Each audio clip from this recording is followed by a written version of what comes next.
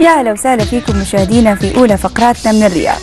جواهر العنزي طالبة في كلية التقنية أرادت الخروج عن النمط التقليدي لذلك لم تنتظر التخرج للحصول على الوظيفة بل أرادت الاستفادة من موهبتها في إعداد الحلويات الشرقية والغربية وأيضا المقبلات والأكلات والارتقاء بهذه الموهبة واستثمارها وتطمح جواهر أو الجواهر لامتلاك مشروع خاص بها. خلونا نتعرف على جواهر العنزي. هلا بك يا هلا وسهلا هلا. فيك جواهر. هلا بك أهلا. جواهر يعني أنت ما زلتي طالبة؟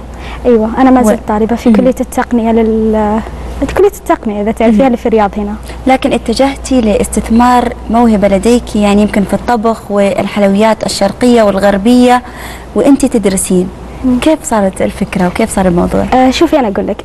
أنت يعني إذا في شيء تحبينه مو هو بصعب عليك نهائيا إنك يعني تفرقين بين وقتك وعملك أو دراستك وشغلك ما في شيء صعب. وهذا شيء تحبينه وإذا حبيتيه طبيعي بيكون سهل عليك إنك تسوينه فأنا ما راح أنتظر والله إني خلاص أخلص دراستي وكذا بالعكس أسوي لي جدول وقت أنظم وقتي وأستفيد من موهبتي ومن شهادتي نفس الوقت يعني يمكن هذا الشيء اللي خلاك تنسقين بين وقتك في العمل وأيضا دراستك. إيه صحيح طيب يعني من وين جبتي هذه الموهبة؟ الموهبة أنا أول شيء والله الوالدة الله يطول بعمرها. الله هي اللي عليك. حبت إنها تعلمني وتطور مني عرفتي. وشدت علي شوي لين تعلمت. أما الحلويات الجديدة يعني والأشياء الجديدة هذه لا هذه مني أنا عرفتي؟ أحب إني أبتكر هواية من داخلي عرفتي؟ مم. أحب إني أذوق الشيء فأجي أطبقه يعني. أي كانت الأكلة سواء مالحة أو حلوة أو حلويات؟ جميعا كلها. أنا أي شيء أذوقه يعني مثلا لو رحت مطعم أحب إني أذوق الطبخة فأجي أطبقها في البيت يجيني فضول. كيف بتصير؟ إيش الغلطة؟ يعني أنا ما أخفي عليك اني أنا فشلت في طبخات. لكني حاولت وحاولت وسويتها. الفشل الفشل دائما يؤدي للنجاح طيب أكيد. في يعني لك نماذج وأصناف جايبتها معك هنا مشهية لكن الله بنتظر بعد الفقرة وأذوق. الله يسلمك. يعني كلميني عن الأصناف اللي أنت جايبتها معك جواهر. أول شيء أنا من محبين السينابون صراحة. مم. عرفتي؟ في ناس كثير يعني ب... أيضا من محبي السينابون أكيد آه، طبعاً. متابعينا آه السينابون أنا أحب أنوع فيه. يعني ما أحب إنه يكون خلاص هي النكهة التقليديه يعني قرفة وسكر وبس لا. أنا سويت هنا سينابون آه، في اللوتس مم. والسينابون في الكاكاو والسينابون في جوز الهند والسينابون التقليدي. عرفتي؟ آه، طبعا عندك ورق العنب أنا أسويه. طبعا إحنا على قولاتهم في الحين صرنا في مجتمع كسول ترى. عرفتي؟ الوحدة تكون عجازة تطبخ وتسوي. فأنا سويته بطريقة سهلة جدا طبعا. آه تناسب كل وحدة ما تكسل. طبعا هنا عندك الكبة والكبة من أنواع المقبلات اللي الكل يحبها. ويحب يأكلها. طبعا وجبة خفيفة تعتبر. عندك هنا التشيز كيك. آه طبعا التشيز كيك أنا ما أحب اسويه بالجيلاتين وكذا لأنه أحس إنه شوي يعني صعب وبعد غير إنه بعد متعب. زين؟ أنا أسويه بطريقة سهلة جدا وأستبدل الوصفات من معقدة إلى وصفات يعني بسيطة جدا. الناس العجازة مثل ما قلتي يعني. إيه. طيب كيف يعني تخلين وصفاتك للناس العجازة أو الناس الاتكالية أو الناس اللي يمكن ما عندها وقت؟ صح معك حق بس أنت إيش حابة إني أقول لك شيء عن يعني إيش أسهل شيء ممكن نعطيه لمشاهدينا كذا؟ السينابون. السينابون هم يقولوا إنه مرة صعب. وهذا شيء يعني مشكلة يعني يعني هو السينابون السينابون مثل الدونات فيعني ممكن يكون صعب بالنسبة لبعض الناس. بالعكس هو مرة سهل. هو مجرد عجينة بسيطة وسهلة وسريعة بعد عرفتي؟ آه والعجينة يعني كيف تبغين أقول لك مكوناتها؟ يعني إذا حابة تعطين سر للمشاهدين أكيد يعني. آه سر عجينتي أنا اللي هي ال Dream Whip. أنك تحطي ظرف Dream Whip مع العجينة العادية آه تخلي العجينة يعني هشة وكذا عرفتي؟ فهي اللي بتخلي يعني العجينة هشة وتعطي نكهة يعني. دائما الكريمة يعني اللي هي الخاصة بالحلويات هي اللي تعطي العجينة يعني هشاشة نوعا ما. إيه. طب خلينا نتكلم عن يعني الإضافات اللي انت دائما تضيفينها ال- المكونات اللي تضيفينها. إيش بالعادة تحبي تضيفين يعني؟ سواء الأكلات المالحة أو آه، المقبلات أو الحلويات أيضا. اي أنا تو قلت لك إني أنا لازم أحب اني أحط شيء مني. يعني مستحيل إني آخذ وصفة وأروح أطبقها زي ما هي. آه نادرا هذا الشيء.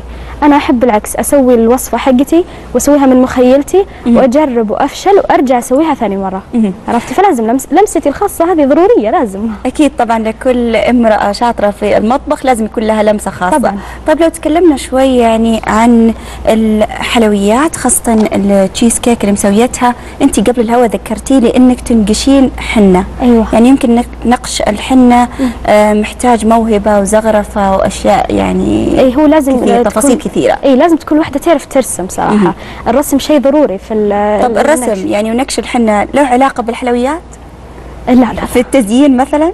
تق... لا هو يعني مو الحلويات لها يعني شيء خاص فيها والنقش له شيء خاص فيه.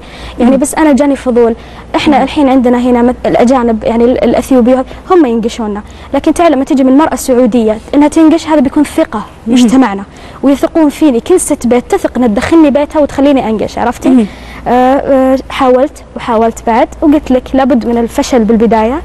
فشلت رجعت قمت ثاني مرة مستحيل واحد يطيح ويرجع مع الإصرار أكيد أي لازم أكيد يكون طبعاً. يتحقق الطموح طبعاً. طب أنا حابة أتكلم عن تشيز كيك لأني بصراحة أحبه شوي حبيبتي. كثير مشاهدينا بعد يحبون التشيز كيك طبعاً. يعني كلمينا عنها يعني أنت قلتي أنها سهلة تقريبا في المكونات وسهلة في الإعداد والناس وللناس العجازة أو الإتكالية أيوة. تكلميني عنها شوي أيوه أنا الحين أنا سويت هنا تشيز كيك ال- اللوتس. طيب آه طبعا هو سهل انه أنت أول ما تحطين مثلا طبقة البسكوت آه الكريمة اللي بالنص هي أحي يجيك ال cheese أما بالفرن أو بارد.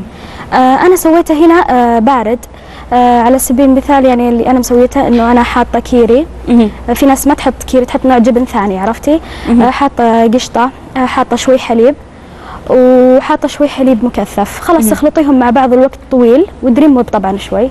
زي أخلطيهم مع بعض الوقت طويل شوي بس وحطيه وخليه في الثلاجة إلى أربع ساعات خمس ساعات وزينيه زي ما يعني انت جالسة تبغين. تعطين أسرار صراحة للمشاهدين آه، جواهر لكن أنا حابة أعرف كيف سوقتي لنفسك إيه، في البداية أنا التسويق بالبداية ما كان عام الناس ما كانت تعرف مهم. أنا بديتها في مدرسة صراحة مهم. عرفتي رحت المدرسة درت مدارس كثير طبعا بس حاولت وحاولت رحت المدرسة وعرضت عليهم مهم. آه، فطايري وشغلي فتعاملت معاهم. فكانت هذه أول معاملة لي اللي هي المدرسة صراحة. أول تجربة لك يعني إيه. يمكن هذه بداية التسويق لمنتجاتك يعني البسيطة اللي هي الحلويات الشرقية والمقبلات وأيضا الأكلات. طبعاً.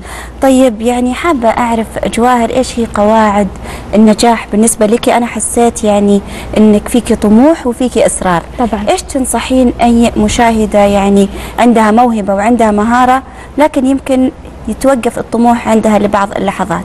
أيوه آه، أنا حابة أنصح كل وحدة إن الله سبحانه وتعالى هو وهبك هالشيء هو اللي أعطاك هالموهبة. ليش تخبينها وتدفنينها؟ بالعكس طلعيها وحاولي. مو معناها إن إحنا خلاص سعوديات وكذا وجالسين في بيوتنا بالعكس نقدر نطلع ونحاول ونكافح بالعكس ما في شيء صعب علينا. بالعكس حاولي حاولي. وزي ما قلت لك تو بداية الفشل ترى نجاح. إذا فشلتي لا تخافين. بالعكس اطلعي راح تنجحين. بداية مشوار الألف ميل يبدأ بخطوة. طيب جواهر عندي سؤال أخير. إيش مشاريعك المستقبلية بإذن الله وإيش طموحك؟ إيه، آه، مشروعي صراحة إني أطلع ورا التلفزيون قدام الناس أعرض وصفاتي. هذا مشروعي مهم جدا. يعني أحب إن أكون زي منال العالم وكذا عرفتي؟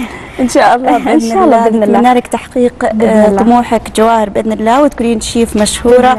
جواهر العنيزي الطالبة ومتخصصة في صنع الحلويات والأكلات. شكرا لك. الله يعطيك العافية. مشاهدينا بالتأكيد فقرات سيدتي مستمرة معكم لكن بعد فاصل قصير ابقوا معنا.